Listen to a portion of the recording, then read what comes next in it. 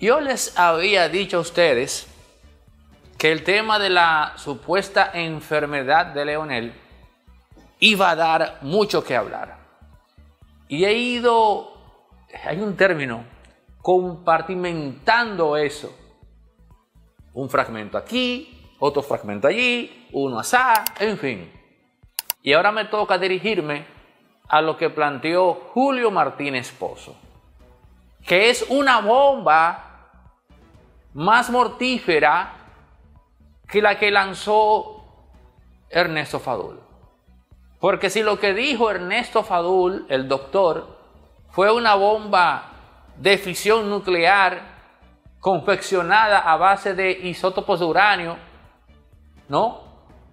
Entonces, lo que dijo Julio Martínez Pozo fue una bomba termonuclear hecha a base de isótopos de, hidrógeno, deuterio y tritio. ¿Sí? Una bomba termonuclear. Porque Martínez Pozo, con ese manejo preciso y efectivo de la retórica, la retórica insidiosa, en buen sentido, dijo, el doctor Fadul lo único que ha hecho es hablar de algo que se viene rumoreando hace meses. Y yo me paro, me voy. Y me digo, ¿cómo así Martín Esposo? Yo voy a ser honesto. Yo no había escuchado eso. A mis oídos no había llegado ese rumor. Hasta aquí no transitó ese mito. Ahora, Martín Esposo dice que eso se venía diciendo, que eso se venía cuchicheando. Un holgorio ahí. Leonel tiene cáncer de colon. O sea, que ya tenemos un precedente del tema. Esto es grave, entre otras cosas, porque entonces Nadie en República Dominicana se atrevió a decir eso. ¿Qué pasó ahí? ¿Qué pasó? ¿Por qué el silencio? Entonces, ¿qué está sugiriendo Martín Esposo? Que puede ser que el, tema, que el tema sea cierto y que en efecto el propio Leonel no quiso sacarse del ruedo, punto uno. O punto número dos, que el asunto explotara en medio de la campaña, que Leonel lo negara, pero que eso le bajara puntos al expresidente. Señores, es más grave lo que acaba de decir Martín Esposo. Entiéndase que, que sí, que ya los comunicadores clásicos tenían conocimiento de ese rumor y que en efecto nadie se atrevió a plantear eso. Eso es muy grave. Y le da, oigan lo que voy a decir, no es que sea cierto como tal, no lo sabemos, no se ha confirmado, pero que Martín Esposo diga eso le da cierto grado de verosimilitud. Porque entonces lo que queda es una de dos. O alguien soltó eso de forma malintencionada, punto uno. O como es cierto, varios comunicadores se percataron de o se enteraron por distintas fuentes discretas. ¿Cuál es el problema con la primera posibilidad? Aquella que, que plantea que el tema no sea cierto y que sea un asunto político, es precisamente el tema de la campaña y el manejo que, que se le haya dado al tópico en cuestión. A este segundo, no creo que exista alguien en República Dominicana que pueda decir que eso es cierto. Ahora yo vuelvo una vez más a hacer el siguiente ejercicio. suponiendo que sea verdad, ¿cuál es la apuesta de Leonel Fernández? ¿A salir ileso de esto y que como él se restablezca, el asunto quede en un rumor? Es una apuesta muy arriesgada.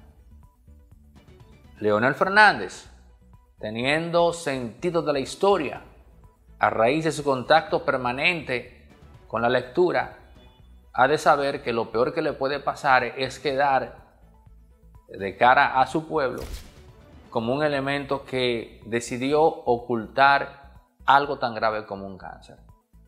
En ese sentido, le tomo la palabra a Julio Martínez Pozo. Es verdad, el presidente tiene que hablar.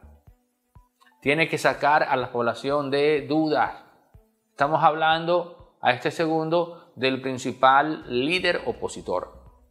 Y estamos hablando de que quien ha dicho esto no es un capo, no es un fascineroso, sí, es una persona de boca ligera, sí, es una persona eh, de, de una elocuencia soez en algunas ocasiones, pero es un médico, es un intelectual, es una persona temida, respetada y querida por este pueblo, y de muy poca tasa de rechazo. Pero esto que dice Martínez Pozo entonces, ahora yo me pongo la mano en la cabeza. De hecho, eso que él ha dicho, si el asunto termina siendo mentira, exculpa totalmente al doctor Fadul, porque los demás lo sabían, pero o lo escucharon, optaron por no decirlo.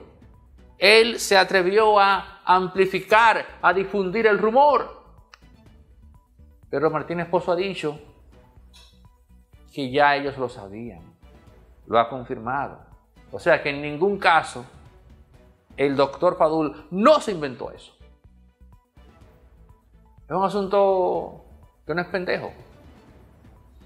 Yo voy más lejos.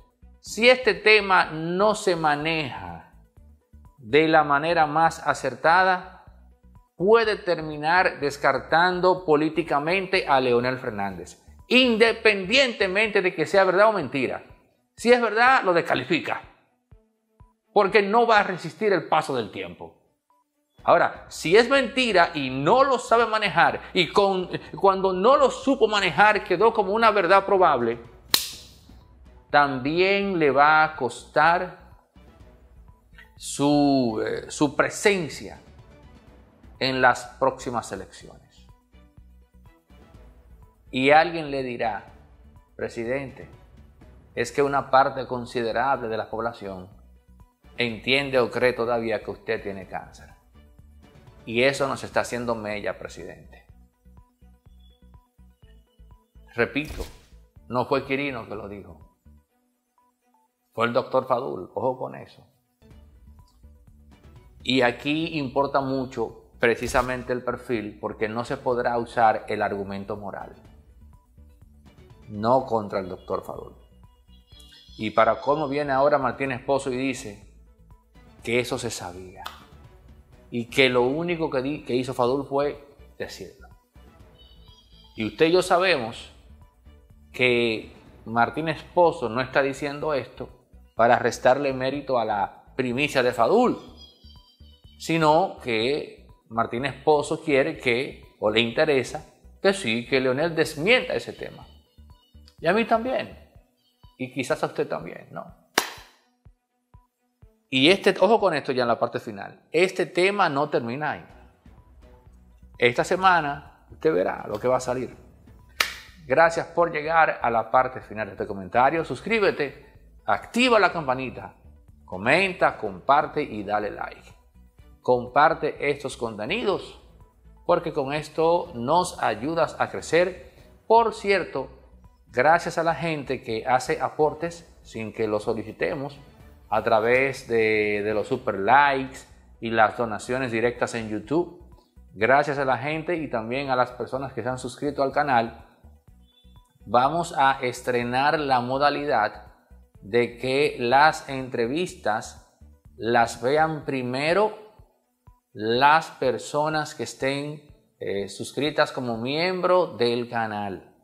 Ustedes hacen sus aportes para ayudarnos a continuar creciendo y como parte del beneficio en contenido serán los primeros, los privilegiados en ver las exclusivas de las entrevistas hasta que se cuelguen, hasta que estén a la vista de toda la comunidad. Pero antes, usted la verá primero. ¿Cómo obtiene ese beneficio? Haciéndose miembro del canal con una suscripción que cuesta solo 5 dólares mensuales. Usted tendrá acceso primero que todo el mundo a las entrevistas que hacemos acá en Impolíticamente Correcto. Así que ya lo saben. Y a la gente que nos aporta a través de los superchats, gracias. Farmacia Medicar GBC está abierta de lunes a domingo, sigue en pie con su descuento de un 20% y también tiene su app que pueden descargar eh, los amantes de Android y la gente también de Apple. Farmacia Medicar GBC, la de nosotros los dominicanos. Eh, a mí me pueden dar seguimiento ahora mismo lisa y llanamente porque un general o no sé qué quiera en la policía darme seguimiento. No, no es así, porque ya tienen, no, porque ya se está apartando de, diríamos, del método institucional. Tiene que haber, en cuanto a ti, una denuncia a discreción, de alta confidencialidad. Mira, Anedo se está reuniendo, por ejemplo, con el hermano de Rolando Florian Félix. Un ejemplo.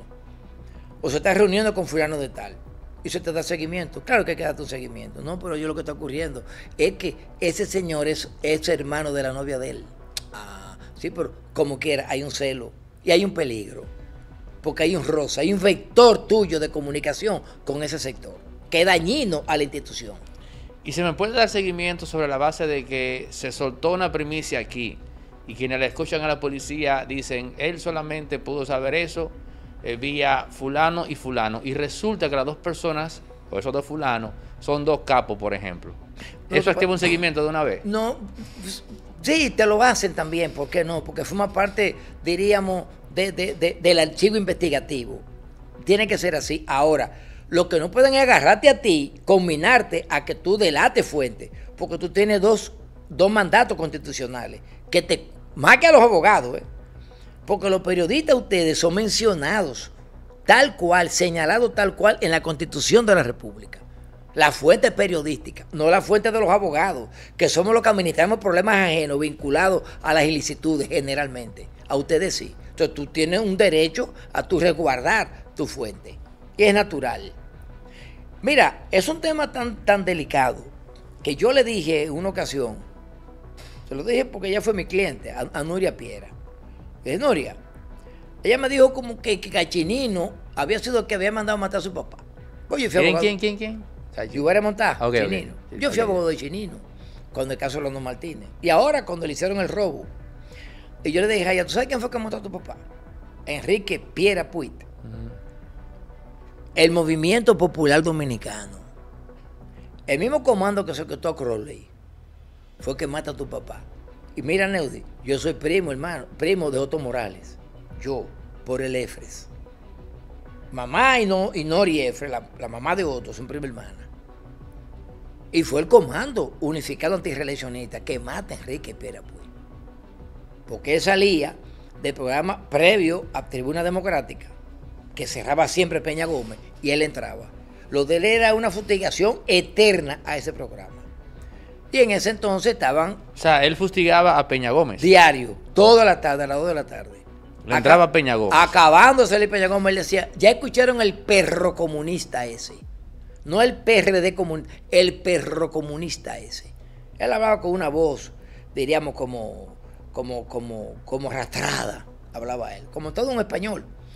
Y, que lo mandó matar de que Balaguer. No, no, no. Ahí lo mandó matar, ahí lo mató el MPD. Y ella no hay forma que lo crea. Bueno, a una investigación periodística. Y lo grande del caso es que en el MPD saben, los que quedan vivos, los remanentes, saben que fue el MPD. Mismo MPD que mató a Miriam, a Miriam Pinedo en Bruselas. Manolo, Manolo Plata mata a Miriam, a Miriam Pinedo. Es por una orden del, del, del mando del, del, MPD. Mátenla.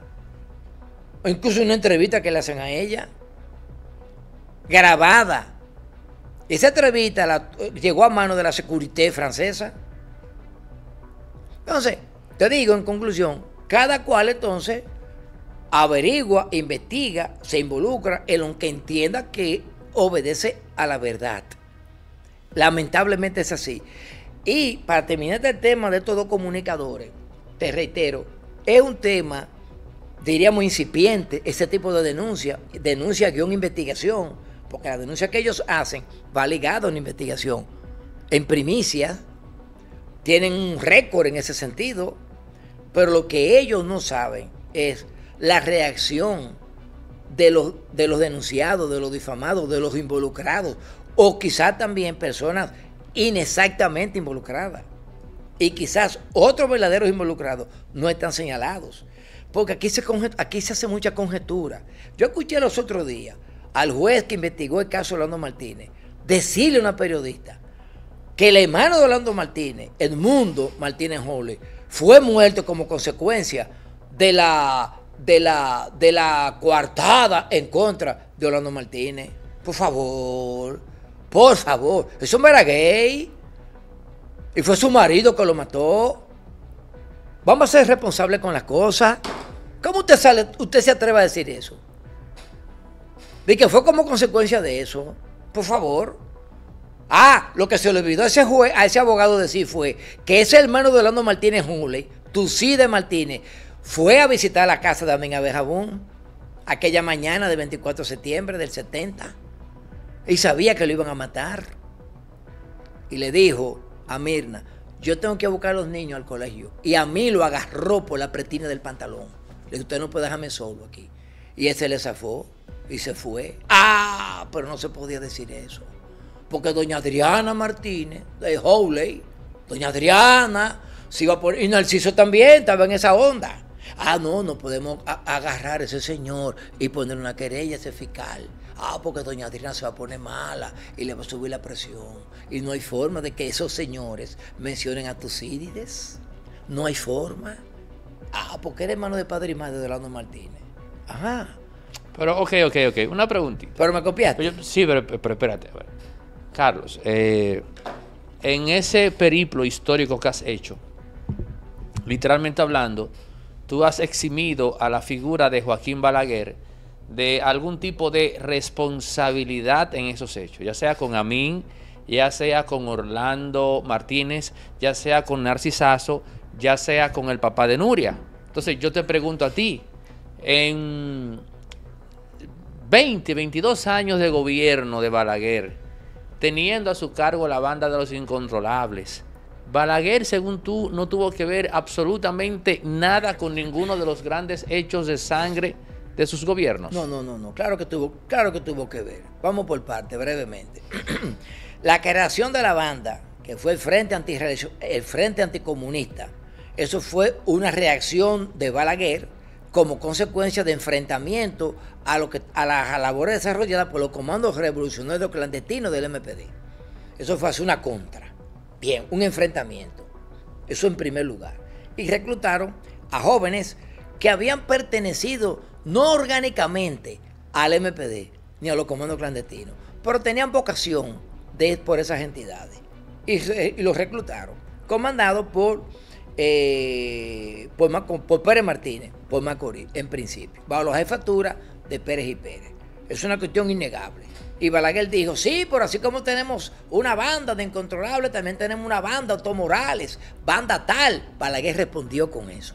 Bien, porque Balaguer era un hombre de enfrentar a la izquierda. En eso vamos a estar claros. Partiendo de las circunstancias que le tocó gobernar. Dos, cuando rodean a Mario Germán Ariti, a Bienvenido Silveria Leal Prandi, La Chuta, a Ramón Arquímedes de Cerón Polanco y a Virgilio Eugenio Perdomo Pérez, el 12 de enero, en el kilómetro 14 y medio, Balaguer pudo haber salvado a ese muchacho. Claro. Para el cerco. Párame el cerco. Cero, cero bombardeo. Cero ataque. Vamos a diezmarlo. Lánzamele bomba lacrimógena solamente. Aunque habían ya ocho policías en el suelo, muertos, pero no importa. Vamos a salvarlo. No. Balaguer entendió que no cabía que aniquilarlo. Porque Balaguer entendió que había un vínculo con Camaño en Cuba. Y Jack Balaguer tiene los informes del asalto al Royal Bank of Canada del 8 de noviembre de 1971. Y los planes de, de, de insurgencia que había aquí se estaban preparando con el tema de Camaño. No estoy apoyando a Balaguer en eso, jamás en la vida, por Dios. Pero te estoy diciendo que él eso contó con su aprobación. Igual el fusilamiento de Francisco Alberto Camaño Deño. También. No iba a tener ese hombre aquí. Ahora, Londo Martínez no lo mandó a matar él. Ni a Narcisazo, eso es mentira. Ni a, ni a Martínez, Narcisazo. A Otto Morales. Ya dijiste lo No, de Otto Morales, de Otto Morales, con el Otto Morales estaba el más tirado en la calle. A buscarlo como diera lugar porque fue el cerebro del secuestro. Había que matarlo, para dejar un ejemplo. Y a mí Abel también había que matarlo. Y eso fue con el apoyo de Joaquín Balaguer. Si Balaguer decía que no, lo volaban, porque eso, esas personas tienen un librito que cabe. ¿Tú ves la chaqueta? Ahí, tienen un bolsillito ahí, las chaquetas. Y tienen un librito que se llama Cómo matar presidentes. Y Balaguer lo sabe. Pero antes de matar a Otto Morales, 16 de julio, el 15 de julio, en la noche, en el INVI, rodearon a Mauricio Germán y fue personalmente Eliosiris Perdomo Rosario, que era jefe de la policía, con un parlante. Comandante, entréguese, entréguese. Y, y, y Amaury les respondió con una subametralladora que tenía. Donde hirió a Chichibolón, el famoso Chichibolón, lo hirió en el glúteo izquierdo. Y por eso es que él cojeaba a Chichibolón. Amaury le envió una carta luego al Silo Veloburgo y dice, en el enfrentamiento que tuvo que enfrentar en varios frentes que él abrió, luego me enteré en la noticia que resultó un policía con un disparo de, su ametralladora en el glúteo izquierdo, coma, lo cual, lo cual denotaba eh, eh, poca irosidad en el combate. Decía Mauri, y al otro día agarraron a Automoral y lo mataron. El plan era matar a Mauri. Ya, para, ya para cerrar esta entrevista, tú estás diciendo que había gente que Balaguer tenía que darle para abajo porque si no daba esa orden, entonces la vida que corría peligro era la de él. La de él mismo, sí, porque es que, si tú, si a ti te llevan un plan, mira, hay que ejecutar a esta persona. Aquí está el que secuestró al coronel Crowley, el que lo secuestró, el que buscó la casa, esto, etcétera. Y aquí tenemos este otro que creó los comandos clandestinos. Aquí tenemos este otro, como fue el caso de Freddy Chapó. Este, este que sustituye a Otto Morales. Y la única fórmula que tenemos es eliminándolo. Porque esa es la política que hay en América Latina. Esa es la política de operación, de operación Halcón. ¿Qué hay que hacer? Balaguer tenía una de, una de las dos, o sigue en el poder, enfrentando estos conatos de guerrilla urbana y de conspiración.